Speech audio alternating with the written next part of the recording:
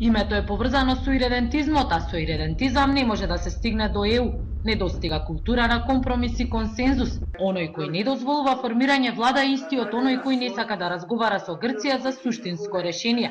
Ова се дел од пораките до Македонија кој шефот на грчката дипломатија ги упати говорејќи на настан посветен на надворешната политика на Грција, организиран од движењето Прато, чиј председател и основач е самиот Кодзиас. Αυτή τη χώρα το μεγάλο πρόβλημα που υπάρχει και σε άλλα κράτη των Βαλκανίων είναι αυτό που ονομάσαμε στην εξωτερική μας πολιτική κουλτούρα συμβιβασμών και συνένεσης, ότι δηλαδή αυτές οι χώρες συχνά δεν ακολουθούν κουλτούρα συνεννόησης και συνένεσης με τους ε, γειτόνους τους και το αποτέλεσμα είναι κακομαθημένα να ακολουθούν και στο εσωτερικό τους μια πολιτική χωρίς συμβασμούς και χωρίς συνενέσεις.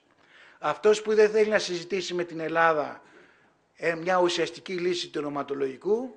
Αυτός είναι επίσης που απορρίπτει να δώσει στην πλειοψηφία της Βουλής των Σκοπίων ε, τη δυνατότητα να καθορίσει την κυβέρνηση που θέλει. Во едночасовниот говор Кодзијас, како и секогаш ги спомена и мерките за градење доверба кои ги смета за негов успех, а не испушти одново да не обвини за иридентизам. Πρόβλημα του ονόματος που δεν είναι γιατί έχουμε ένα καυγά για τα βαπτίσια κάποιου, αλλά γιατί αυτό το όνομα συνδέεται με αλυτρωτισμούς και δεν μου υπά... οι αλυτρωτισμοί σημαίνει αμφισβήτηση των συνόρων μιας περιοχής και δεν μπορεί στη σύγχρονη Ευρώπη να ενταχθεί κράτος ως μέλος στην Ευρωπαϊκή Ένωση έχοντας τέτοιους αλυτρωτισμούς. Политичките директори пак на македонското и грчкото МНР вчера во Солун во пријателска и конструктивна клима го одржаа вториот круг политички консултации. Биле разменети мислења околу последните случувања во поширокиот регион, а го разгледали напредокот во спроведувањето на мерките за градење доверба.